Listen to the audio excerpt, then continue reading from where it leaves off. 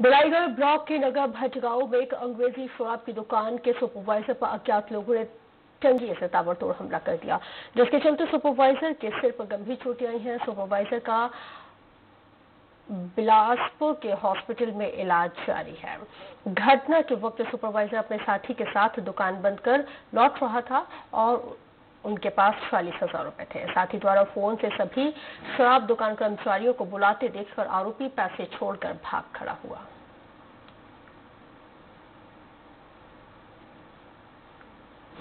उसके बाद वो बाइक पीछे पीछे गया हम लोगों का। जस्ट टर्निंग मोड है कॉलेज का पास। टर्निंग मोड पे जैसे हम लोग गए, वैसे पीछे से मतलब बाइक वाला हॉर्न दिया। आगे पे एक लड़का खड़ा हुआ था, और पकड़ा हुआ था टंगिया। टंगिया तो फिर वार करने लगा। फिर मैं मैं डर से मैं गिर गिर गया। इंदौर में प्लास्टिक के कचरों के खिलाफ जागरूकता